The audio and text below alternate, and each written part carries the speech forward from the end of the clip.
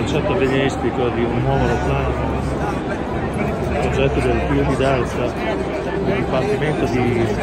Tecnologia e Ingegneria dell'Università di Delta in Olanda, in stato contatto con Air France eh, e KLM. Questo modellino è mostra ora Langa 10 per il KLM 100 Experience